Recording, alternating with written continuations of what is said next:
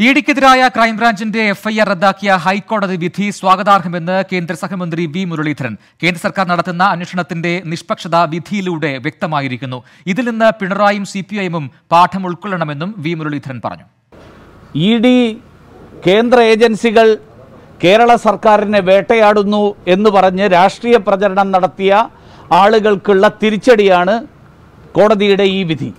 C P എമ്മും ശ്രീമാൻ പിണറായി വിജയനും ഇതിൽ നിന്നെങ്കിലും പാഠം ഉൾക്കൊള്ളണം. ജനങ്ങളെ തെറ്റിദ്ധരിപ്പിക്കാനുള്ള ശ്രമങ്ങൾ. അത് സ്വർണക്കള്ളക്കടത്തിന്റെ പേരിലാണെങ്കിലും കോവിഡ് പ്രോട്ടോകോൾ ലംഘനത്തിന്റെ പേരിലാണെങ്കിലും ജനങ്ങളെ തെറ്റിദ്ധരിപ്പിക്കാനുള്ള ശ്രമങ്ങൾ ഇനിയെങ്കിലും അവസാനിപ്പിക്കണം.